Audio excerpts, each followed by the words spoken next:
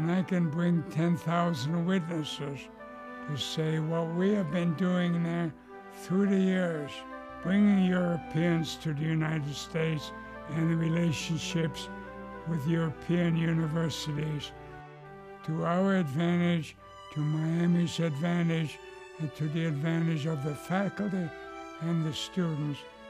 I consider our students at MUDEC in Luxembourg ambassadors to the United States in Europe.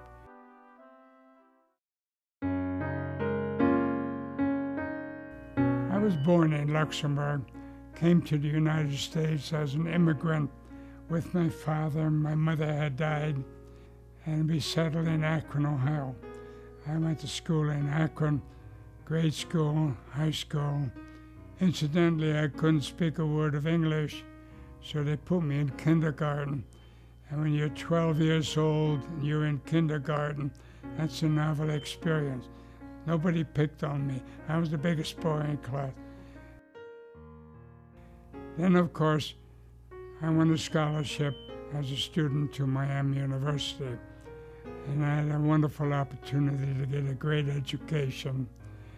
Eventually, after World War II, four years in the Army, a period of working for Procter & Gamble before and after the war, I finally ended up where I was to make my career, and that is to be the first alumni director of Miami University. At the time I started to work for Miami, we were not very um, internationally uh, organized. Um, I used to make jokes and say uh, a lot of people living around this part of Oxford think that the world came to an end at the Ohio River. When uh, Dr. Ray Wilson became the uh, provost of Miami University, he stimulated an interest in international studies. But he also got the idea that our students should have an international relationship. One of his classmates, class of 1926, Miami, was a Dr. Koichi Hasegawa, who was a history professor in, in Tokyo and Dr. Wilson, Dr. Hasegawa made a deal. And Miami students could go to Japan, Japanese students could come to Oxford and Miami University. But on his way home, Dr. Hasegawa had a heart attack and died, so that their plans really did not materialize. Ray Wilson came to me. I was the development officer and he said, Where else can we go to set up an international exchange? And I said, Luxembourg. There's no university in Luxembourg, and we would be the first, and I think we'd be very welcome.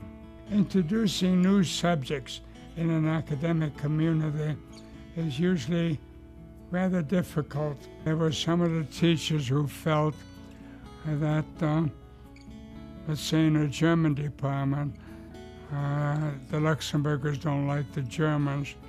They've been run over during World War One and World Two, occupied by Nazi Germany, and then maybe German wasn't very popular in Luxembourg, so maybe that wouldn't be a good place for our students to learn German. French department said they don't speak a proper French in Luxembourg and that isn't going to be incorporated to our students. I laugh when I say kiddingly the geography department couldn't find Luxembourg on the map, so they weren't particularly in favor. Dr. Shriver appointed a committee, and my wife Winnie and I went to Luxembourg, and we found them very receptive. Anyhow, the outcome of it all was that we tried it out. And in 1968, we had, uh, after having a tour of alumni visit Luxembourg, including members of the Board of Trustees, and the approval of Dr. John Millett, who was a former president of Miami and who is now the Chancellor of the Board of Regents, and Governor Jim Rhodes of Ohio were all enthusi- enthusiastic about the program. And this is how it started. By 1968, we were ready to start our first course. When we began our courses, was to teach subjects in um, Miami University in Luxembourg that applied to the European environment, like European history, European government, banking, finance, to learn about actually European customs, European culture, knowing, of course, that once they got to the center, they would want to travel all over Europe.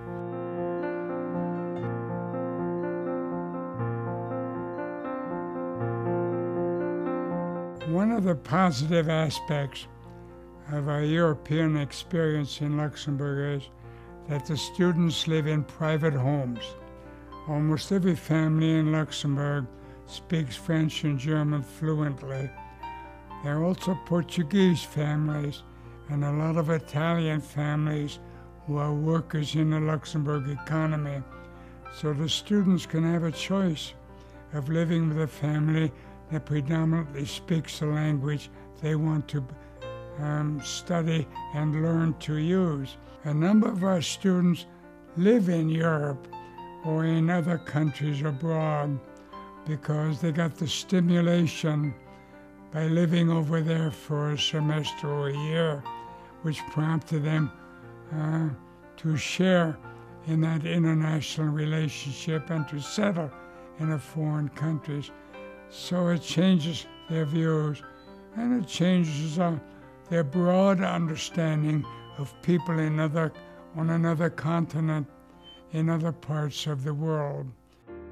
The whole pattern just fitted perfectly uh, to be able to apply my background and what I had learned in the United States to working with an academic institution of Miami quality, establishing the center.